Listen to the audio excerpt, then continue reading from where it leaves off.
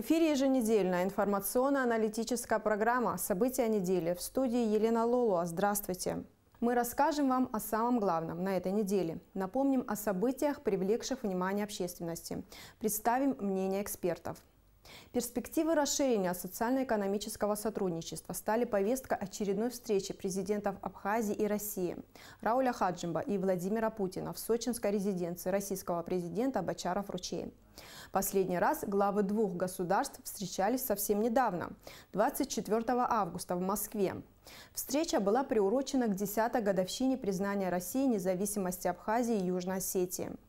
В этот раз Рауль Хаджимба и Владимир Путин детально обсудили экономические вопросы, в частности, объемы товарооборота между двумя странами и темпы реализации инвестпрограммы. Встреча с глазу на глаз длилась около часа.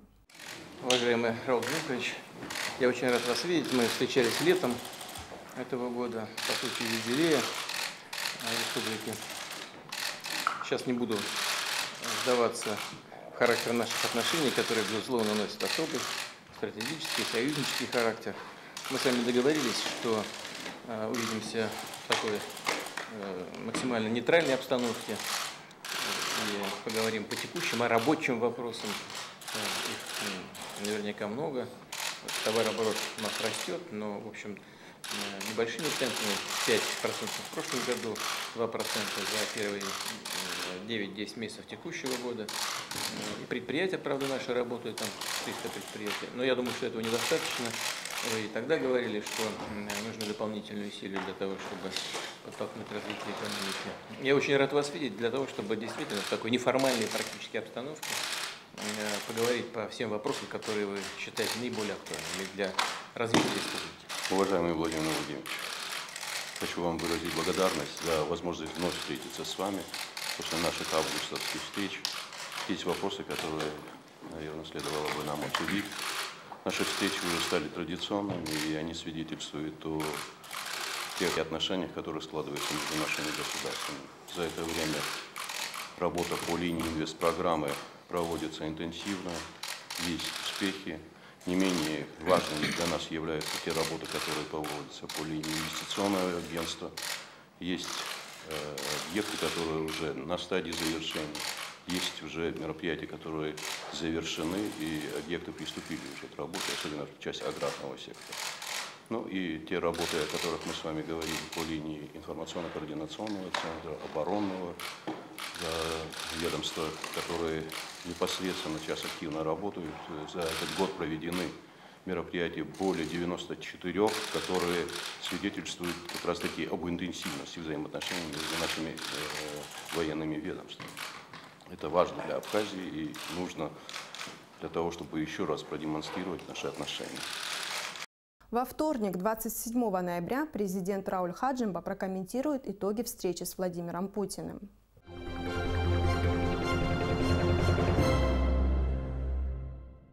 Второй туристический форум «Визит Апсны», который прошел в Сухуми, объединил представителей туриндустрии Абхазии и регионов России, в частности из Крыма.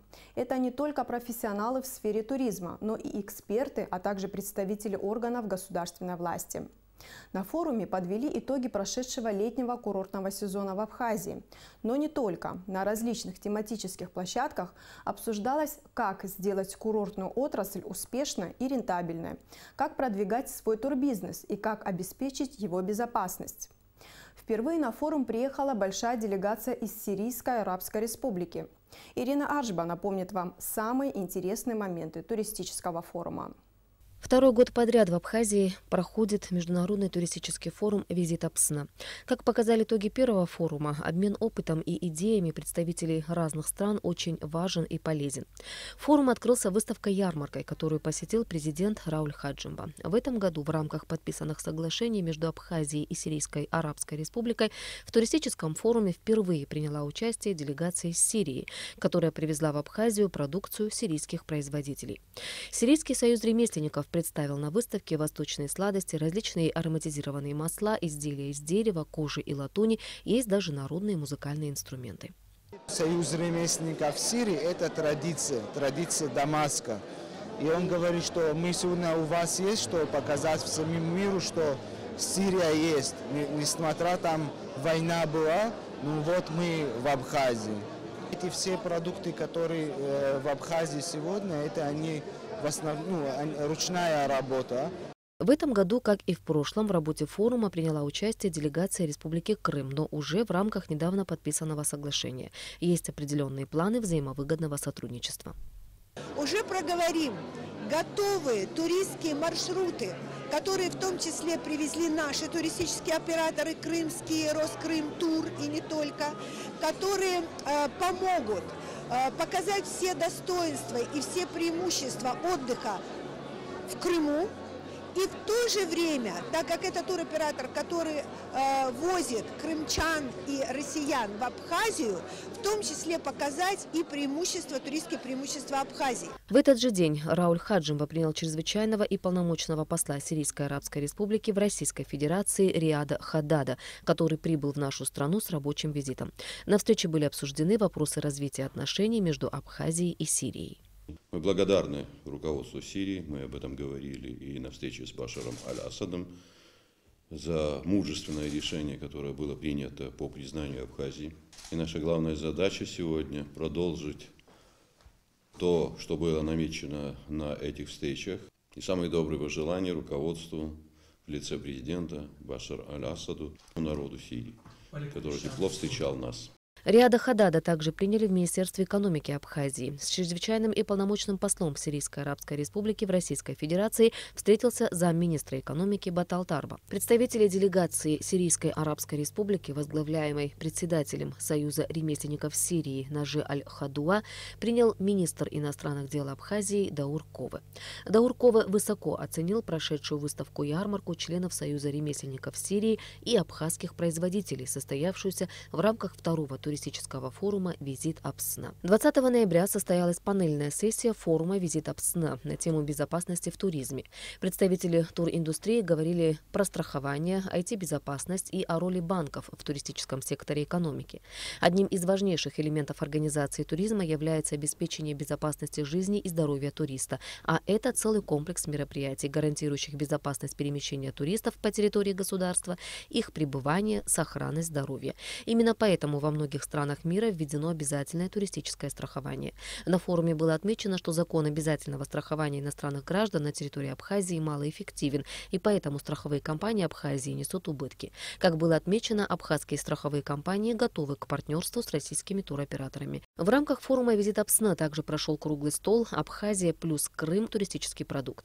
Специалисты туриндустрии обсудили главные вопросы инвестирования в туристическую отрасль, ожидаемый сервис и инновационные методы в продажах активных туров. Как говорят специалисты, развитие и успех любой туристической страны напрямую зависит от того, насколько информация о ее возможностях достоверна и доступна для туриста. Именно с этой целью год назад был разработан универсальный инструмент мобильное приложение «Карта гостя РФ СНГ», включающее такие необходимые компоненты, как достоверная информация, оптимизация финансов, персонификация клиента. Разработчики также внесли Абхазию в список представленных в приложении стран по объектам туристического интереса которых будет дана полная информация и навигация. По данным на 1 октября этого года, по числу российских туристов, выбравших отдых в Абхазии, наша страна заняла четвертое место. На первом Краснодарский край, на втором Крым, на третьем Турция. И, как отмечают все туроператоры, при такой сильной конкуренции четвертое место – неплохой результат. В работе форума приняли участие ведущие туроператоры Крыма, Москвы, Краснодара, Ростова-на-Дону и Сочи, которые в течение двух дней делились опытом, предлагали и обсуждали различные идеи. В ходе форума между его участниками было подписано множество соглашений о двустороннем двустороннем сотрудничестве. Была предоставлена хорошая площадка для обмена опытом, для установления новых контактов. Очень приятно, что в рамках пленарного заседания э, мы подписали соглашение о двустороннем сотрудничестве как с туристическими компаниями, так и с издательским домом Евромедиа. Очень приятно, что выставка, которую мы организовали для наших гостей она пользовалась огромным успехом. Мы планируем приглашать и наших коллег из других стран европейских, в том числе, с которыми торгово-промышленная палата уже подписала соглашение. И в рамках существующих договоренностей число участников будет больше. В этом году туристический форум «Визит Апсны» прошел под девизом «Сотрудничество вместо конкуренции». Главной целью туристического форума был поиск взаимовыгодных условий сотрудничества и содействия развитию туризма в Абхазии. Ирина Аршба для событий недели. Сирийская делегация приехала впервые в таком составе. Выставка-ярмарка, на которой были представлены изделия сирийских ремесленников, дала возможность окунуться в атмосферу сирийского быта и, конечно, более плотно пообщаться с гостями из Сирии. Приобрести на память редкие предметы домашней утвари. Мы встретились с представителем делегации, начальником департамента по культуре Союза ремесленников Сирии Аднаном Танбакджи, который поделился своими впечатлениями от пребывания в Абхазии. Мы рады приветствовать вас в Абхазии. Расскажите о своих впечатлениях об Абхазии, где вы побывали и с кем вы виделись. Я хочу э, благодарить, э, во-первых, э, президента торгово-промышленной палаты Тамилу Мерцхулава и коллектив ТПП за теплый прием. Э, мы приехали из Сирии, несмотря на сложности э, по дороге. У нас э, где-то поездка 27 часов. Мы все вот, вот эти сложности забыли, как мы уже в Абхазии, как нас приняли. Мы про это вообще уже, ну, как мы не думаем даже. Мы в рамках э, выставки э, встретились с президентом Республики Абхазии, э, господином Рауль Джумкович Хаджимба. И, конечно, на выставку многие посетили наш павильон. Еще у нас была встреча с министром иностранных дел Дауром Вадимовичем и с министром экономики Абхазии Адгур Амиран, Адгуром Амирановичем. И у нас была встреча отдельно с коллективом торгово-промышленной палаты. Мы посетили ресторан в Дурыбши, нас пригласили на ужин. Мы сами увидели, что между нами общая эта традиция, много чего общего. В рамках тоже встречи с министром иностранных дел у нас была такая идея, что когда у них будет торговый дом Сирии, чтобы они тоже создали или открыли ресторан, где будет ну, их вкус тоже, чтобы местные смогли попробовать. Вы сказали, что у нас есть общие традиции. Не могли бы вы сказать конкретно, какие традиции, что вы увидели общего? Я что заметил, именно уважать друг друга, как у вас, у вас именно когда бывает, что гости к вам приехали, они их уважают, и они везде, ну как, во-первых, даже между, он говорит, между собой, они заметили, что есть человек, который как глава, самый старший, как его уважать, чтобы он все время он разговаривает, все его слушают. И я еще заметил, что даже как готовят еду, у вас, у нас очень э, ну, много ну, похоже, как вы делаете. Какие направления наиболее перспективны для сотрудничества между Абхазией и Сирийской Арабской Республикой? Мы все-таки далеко друг от друга находимся. Вот какие точки соприкосновения у нас могут быть, по каким направлениям конкретно?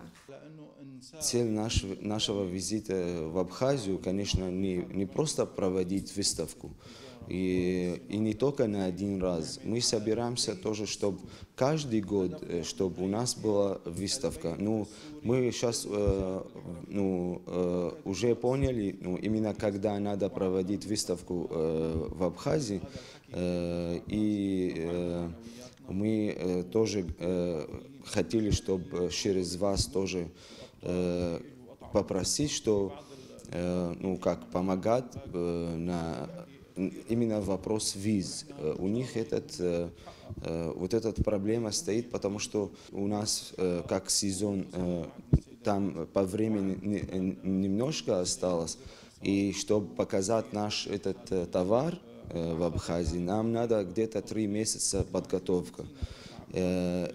Конечно, этот не только он, еще у них председатель Союза ремесленников Сирии, господин Наджи Алхадуа, и председатель Союза ремесленников Дамаска тоже они подтвердили, что у нас нам надо э, заранее время, что, э, ну, э, потому что они сами уже поняли, какие товары мы можем предоставить в Абхазии.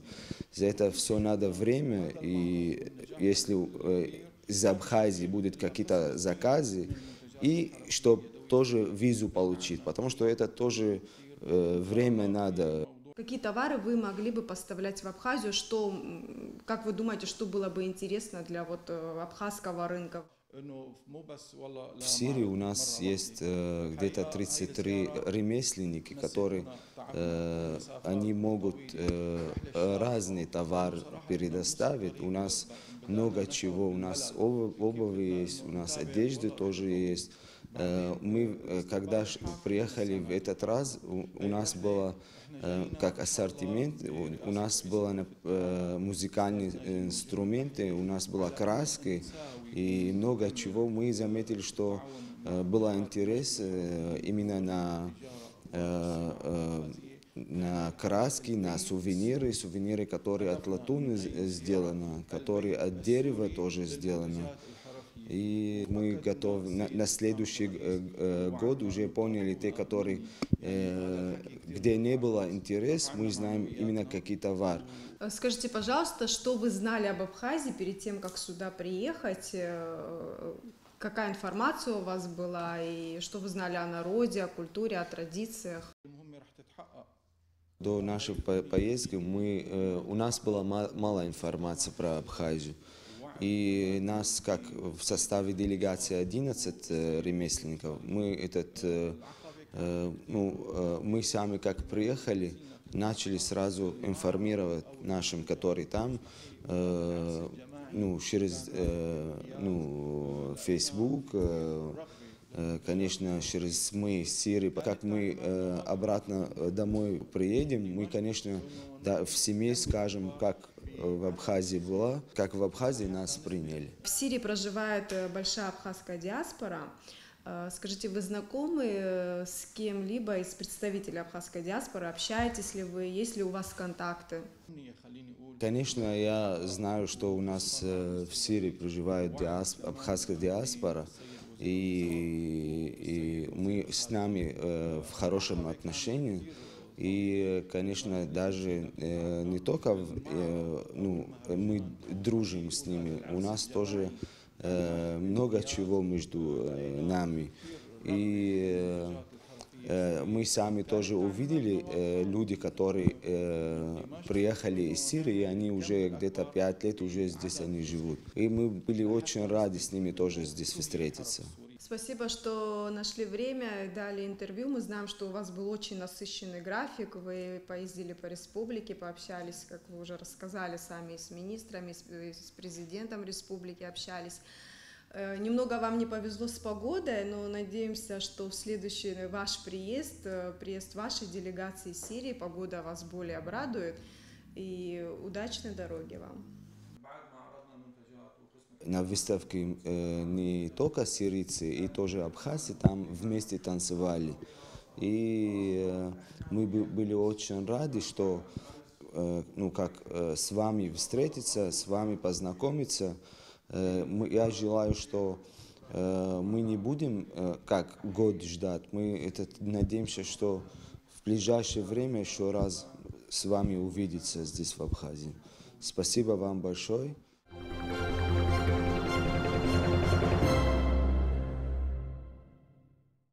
На этой неделе депутаты парламента Абхазии приняли участие в международной конференции, посвященной взаимодействию фракций политических партий и блоков в межпарламентском сотрудничестве стран СНГ.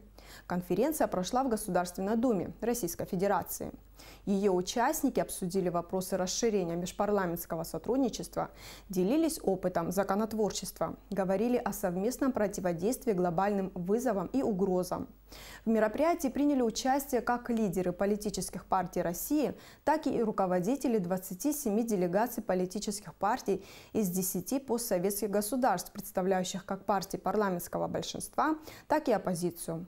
Встреча в таком формате не проводилась много лет. Депутаты парламента Абхазии поблагодарили коллег из Госдумы за возможность принять участие в такой представительной встрече. Межпарламентские контакты и взаимодействие между Российской Федерацией и Республикой Абхазия всегда отличались взаимопонимание и конструктивизм. Наш народ навсегда сохранит благодарность руководству России, законодательной власти российского государства, депутатам Государственной Думы, членам Совета Федерации Федерального собрания Российской Федерации за неизменную и последовательную поддержку, оказанную нам в борьбе за независимость. В Государственной Думе Федерального собрания Российской Федерации сформирована и активно работает депутатская группа Государственной Думы по связям с парламентом Республики Абхазия, в которую входят представители различных думских фракций. С ноября 2012 года на постоянной основе работает комиссия по сотрудничеству Народного собрания Республики Абхазия и Государственной Думы. Мы придаем огромное значение такому межпарламентскому сотрудничеству и очень заинтересованы в его системном развитии. Что еще можно было бы отметить на уходящей неделе? Это открытие многофункционального производственно-торгового комплекса «Зодиак» в поселке Бзыбь Гагрского района. Инвестиционный проект реализован в рамках программы льготного кредитования среднего и крупного бизнеса. Инвестором данного проекта выступает российская инвестиционная компания «Веб Капитал». Подробности в репортаже Алеки Трапш. Проект многофункционального производственно-торгового комплекса «Зодиак» представляет собой линию по производству хлеба, хлебобулочных изделий и макарон, а также супермаркет, где непосредственно производится реализация товара. Перед открытием объекта инициатор проекта и генеральный директор фирмы «Зодиак» Амра Канджари провела экскурсию для гостей по промышленной базе комплекса. Вот в специальной турецкой пищи хлебопек мастерски выпекает два вида лаваша. Это различается вкусом Потому что там спираль по-другому бьет, когда удлиняется, там печка голодает. И вкус различается, тесто одно и то же. Вкуснее это получается. Потому что это двойная работа получается. Ты округлишь, потом удлиняешь. Затем гости направились в хлебопекарню. Здесь установлены две хлебопекарные печи, расстоечные шкафы, предназначенные для заготовки теста. В день выпекают около 800 булок хлеба. Все хлебопекарное оборудование было приобретено в России у зарекомендовавших себя производителей. После состоялась презентация линии по производству макарон. На сегодняшний день это единственный цех в Абхазии, выпускающий макаронные изделия высшего сорта под национальным брендом «Апсны». Впервые в Абхазии запускается полуавтоматическая линия по производству макаронных изделий. Пожалуйста, Заурен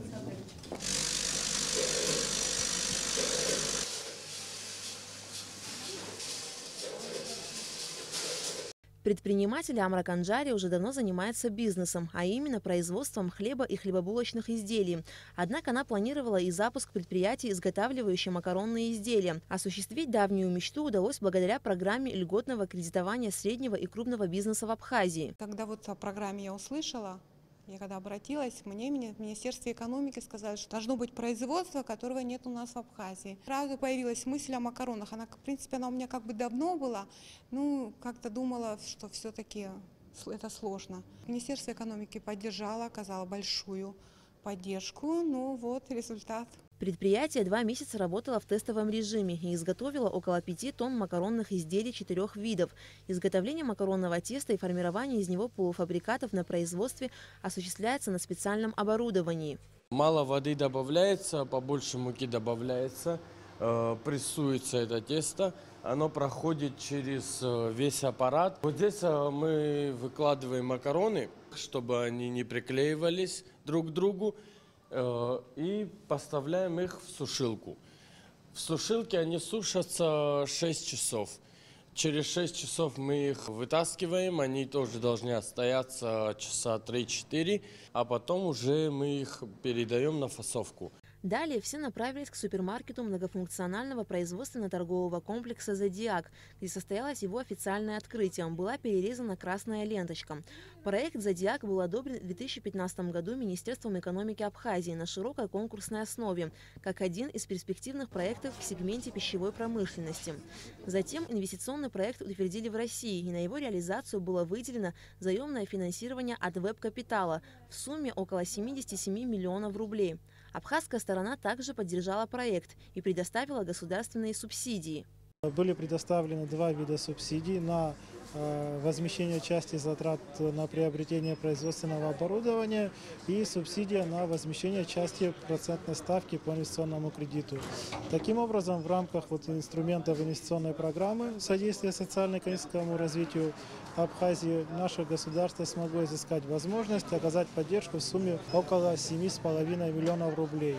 Это производство, которое сегодня мы с вами смотрели, э, особенно производство макаронных изделий, является э, таким импортозамещающим производством. И самое главное, данный проект предусматривает создание более 35 рабочих мест и ежегодные налоговые отчисления в бюджет свыше 5 миллионов рублей. Через полгода планируется запуск производства полуфабрикатов – пельменей, хинкалей и вареников. Алика Трапш, Тамас Чиковани, Абхазское телевидение. Удачно стартовал мандариновый сезон. Местные аграрии отмечают хороший урожай мандаринов. Первые крупные партии мандаринов стали вывозить в Россию уже с 15 октября. И на сегодняшний день должностными лицами таможенного поста «Адлер» Сочинской таможни оформлено порядка полутора тысяч тонн цитрусовых. Об этом сообщает пресс-служба погрануправления ФСБ России по Краснодарскому краю. Ежегодно с начала зимы в центральные регионы России из Абхазии везут цитрусовые фихуа-хурму. Пик мандаринового сезона обычно выпадает на вторую половину декабря.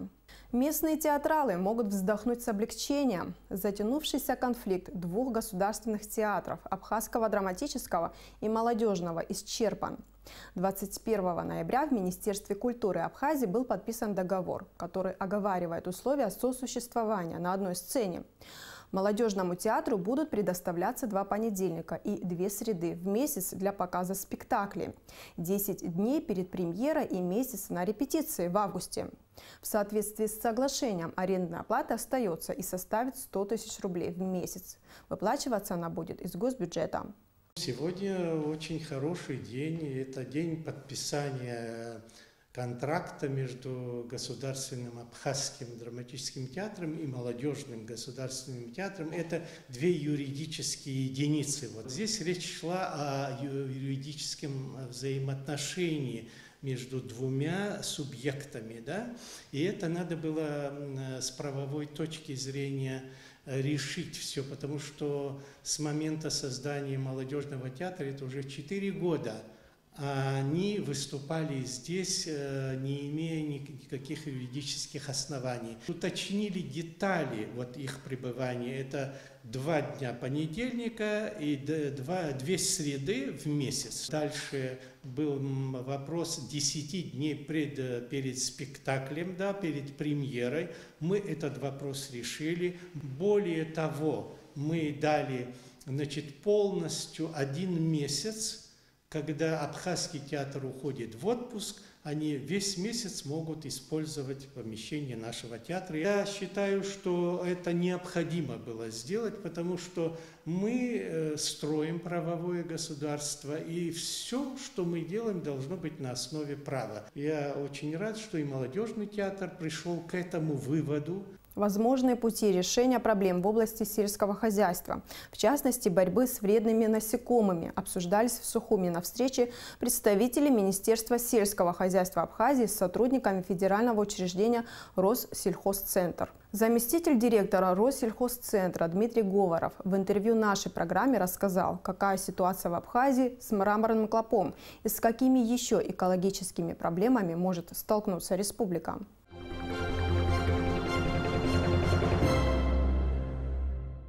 Абхазия столкнулась с экологическим бедствием.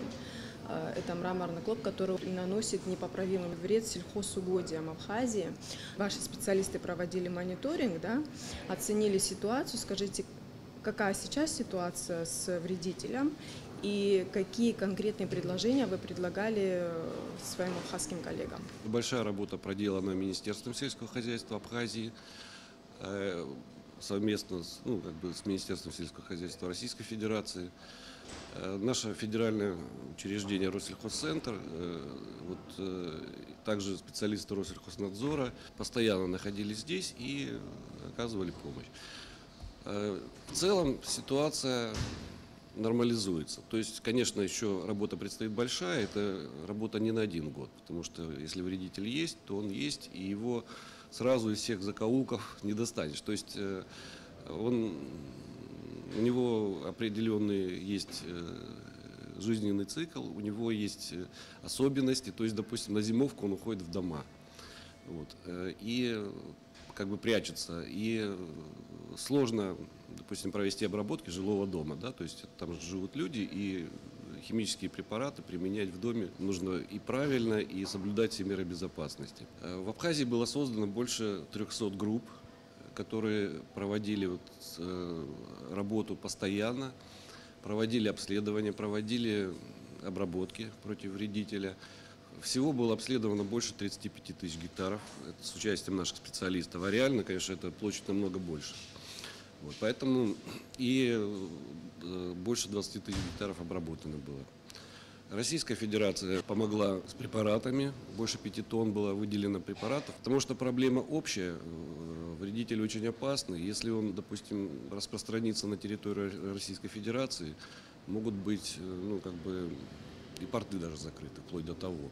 У нас уже закрывали ну, карантинный границу, объект, да, это очень серьезно. Да, да. Мы за этот год изучили особенности вредителя, то есть мы знаем уже, как с ним бороться конкретно. То есть если раньше, ну это новый объект, да, он никогда ни в России не был, ни в Абхазии, собственно говоря, не был. Поэтому мы вот в течение этого года попутно изучали биологию вредителя. То есть мы уже, допустим, смогли выделить э, естественных врагов. То есть есть насекомые, э, которые, э, ну, так называемые энтомофаги. Да, да, да. Какая ситуация с мраморным клопом на территории России, вот, в частности, в соседнем Сочи? Учитывая, что клоп может проникнуть на территорию Российской Федерации, мы приняли превентивные меры, то есть было создано более полутора тысяч рабочих групп, которые обследовали э, порядка двух миллионов гектаров. То есть это фактически вся, ну, вся территория Краснодарского края, э, те места, где мог быть клоп. Вот. Э, было обнаружено несколько десятков очагов единичных, то есть вот где клоп уже залетел, но он как бы экономического значения не имел, но он присутствовал. Клоп чем опасен? Ну, он за год может дать там, ну, фактически до 6 миллионов особей, одна особь. То есть в геометрической прогрессии, если даст 4 поколения, теоретически он может дать до 6 миллионов особей. То есть на самом деле это очень серьезно. А один клоп может повредить 5 килограмм мандаринов, к примеру да, то есть можно потерять весь урожай.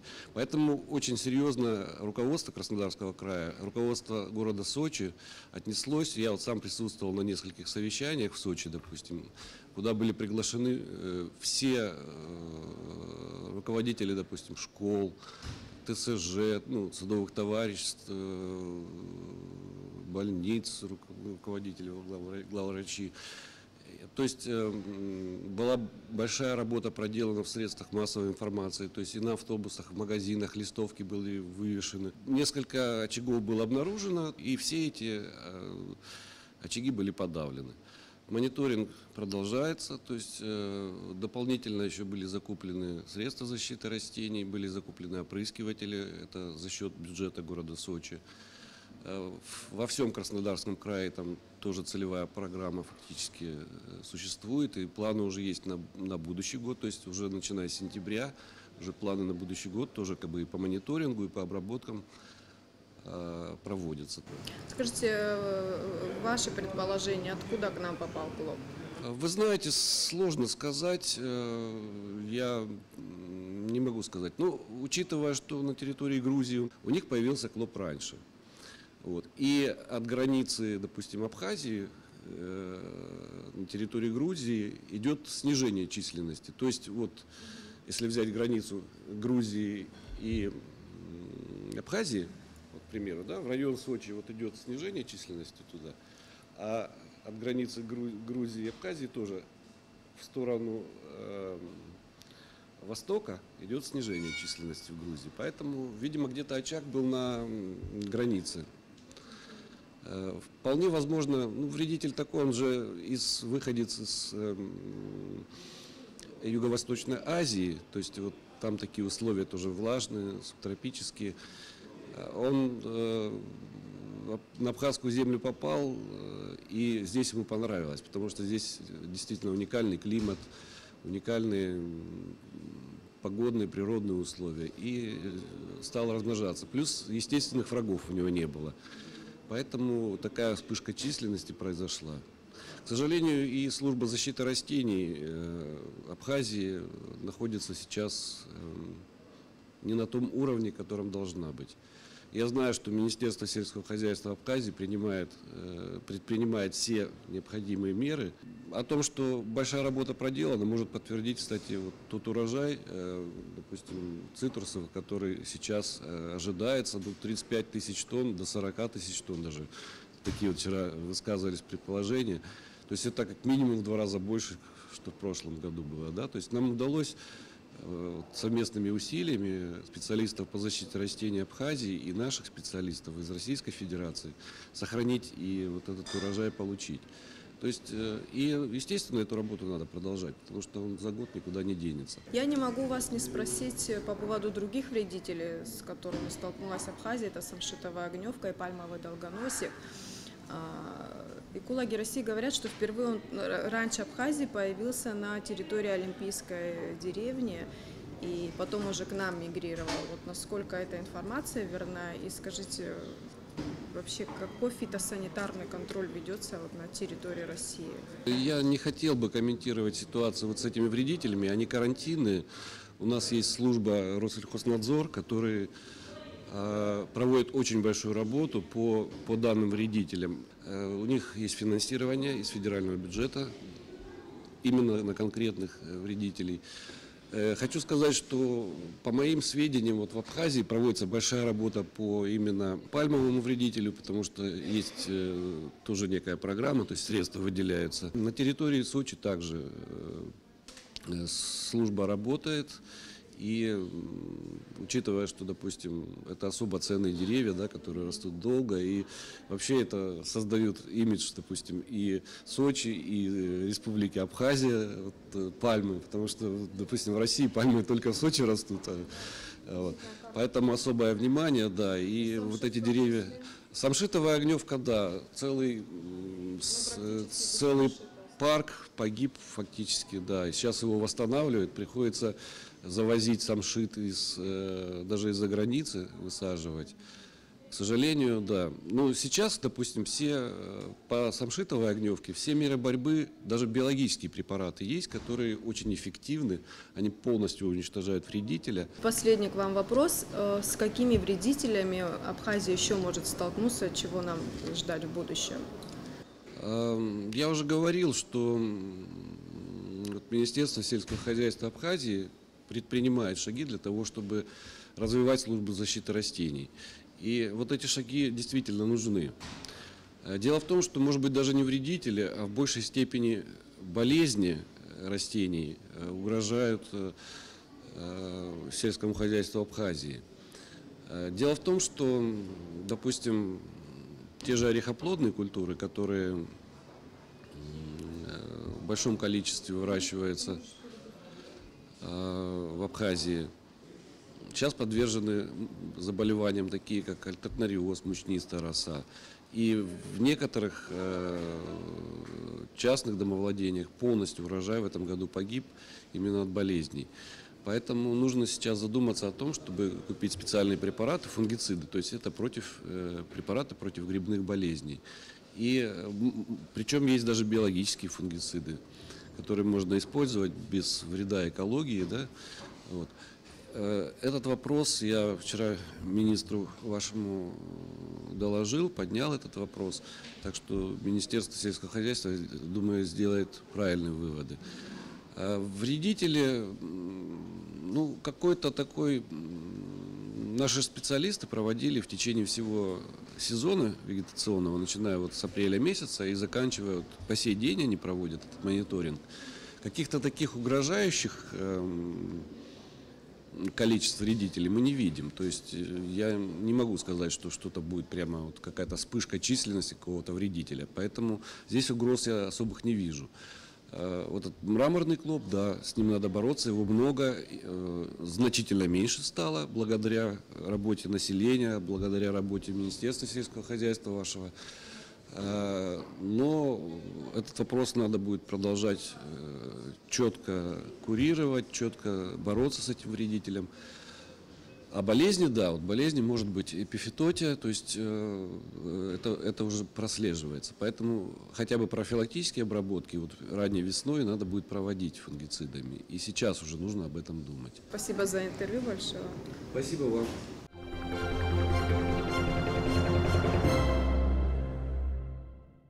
К другим событиям. Печальная новость. На 59-м году жизни умерла Саида Гумба, советская легкоатлетка, копьеметательница, выступавшая в составе советской сборной. На летних 22-х Олимпийских играх в Москве в 1980 году она выступала за команду СССР и взяла серебро в метании копья. Двукратная чемпионка СССР, мастер спорта международного класса. Этот список можно продолжать долго. Во время грузино-абхазской войны Саида Гумба была санинструктором на фронте. Сегодня они вспоминают ее близкие и друзья. Этот человек э, пронес через всю свою жизнь э, патриотизм. Это была женщина стойкая, мужественная. Каждый раз, когда мы говорили, чем помочь Саида, она говорила, есть люди, которые нуждаются в большей помощи, чем я. Ее патриотизм еще проявился во время э, Отечественной войны народа Абхазии. Она не смогла быть равнодушной, стояла рядом с нами. Она была в группе Ибрагима Яганова. Э, потом она была в Пицунском батальоне, пятом Пицунском батальоне. Это большая для нас утрата. Это большая утрата для Абхазии, для всего спортивного мира, где она проявила себя блестяще, где она, э, она прославила Апсны. Потому что такие люди всегда нам нужны. И нам сегодня с болью в сердце приходится говорить, что ее с нами нет. Светлая ей память. Мы всегда будем ее помнить. Ряды абхазской армии пополнили 45 новобранцев. Церемония военной присяги, первая за осенний период, прошла в Министерстве обороны Абхазии. После чего военнослужащие торжественным шагом отправились в распределение по воинским частям и подразделениям Минобороны. Проводить на службу новобранцев пришли их родные и близкие. Сегодня на плацу Министерства обороны мы проводим военную присягу. Количество 45 человек, личный состав новобранцев принял военную присягу и приказом министра обороны распределен по воинским частям и отдельным подразделениям. В течение месяца молодое пополнение готовилось к этому дню. Все прошло на должном уровне, личный состав подготовлен. Я надеюсь, что они с честью и достоинством будут выполнять свой, свой воинский долг. Киноревью. Сценическое представление прошло в Абхазской госфилармонии 23 ноября. Киноревью – это новый формат сценического представления, предусматривающий показ музыкальных и поэтических номеров актеров театра и кино России. Видеопроекция, сопровождающая каждый номер, переплетается с актерским выступлением и усиливает его эмоциональную окраску. То есть каждый номер – это маленький спектакль, объединяющий в одно большое целое – киноревью. Часть средств от продажи билетов будет направлена на благотворительность, продолжит Саид Жарсаля.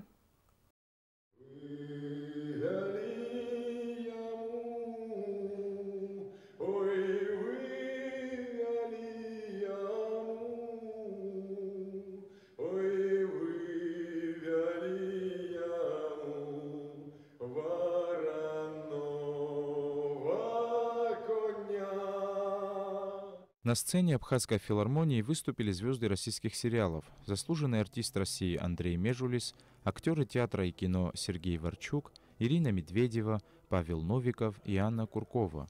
Театрализованное действо погружало зрителей в прошлое, в ностальгию, в романтику. Многие зрители вместе с актерами с большим удовольствием подпевали известные песни из советских и российских фильмов.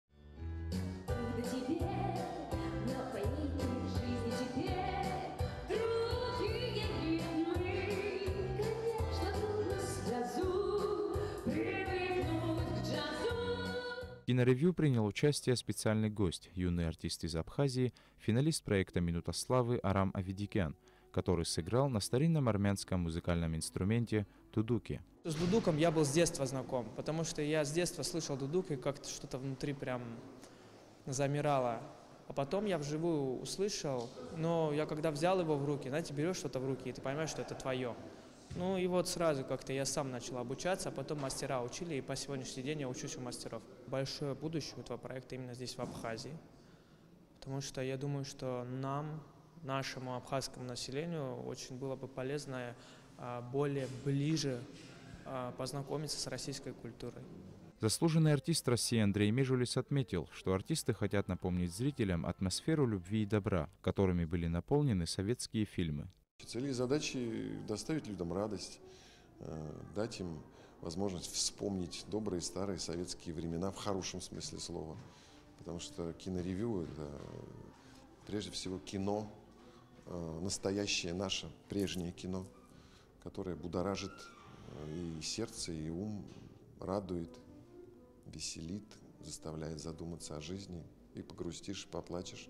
Сейчас такого кино, к сожалению, не снимают. Организаторы проекта киностудия «Абснофильм» приняли решение часть средств, вырученных от киноревью, направить в благотворительный фонд «Ашана», а также в фонд «Горная Абхазия» на спасение пальм в республике от вредителя.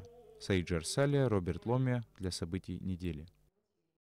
26 ноября в понедельник Абхазия отметит День Конституции. Принятый 26 ноября 1994 года основной закон Республики Абхазия закрепил итоги национально-освободительной борьбы абхазского народа за свои права. Конституция принималась в непростых условиях экономической блокады и серьезного политического давления со стороны международного сообщества – Повестка дня заседания Верховного Совета заранее не афишировалась.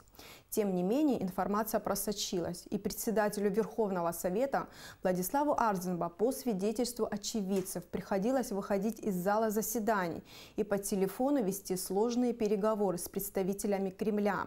Несмотря на внешнее давление, Конституция была принята. Верховный Совет был переименован в Народное собрание парламента Абхазии, а Владислав Арзенбо избран президентом страны. 3 октября 1999 года Конституция была одобрена на референдуме. С тех пор в основной закон вносились изменения. К примеру, был учрежден Конституционный суд, формирование которого завершилось в этом году. В феврале 2016 года приняты изменения, касающиеся органов местного самоуправления. А в марте 2016 года в Конституцию внесена поправка о государственной защите жизни матери и нерожденного ребенка. На сегодня это все, о чем мы хотели вам рассказать. Спасибо, что были с нами. До свидания.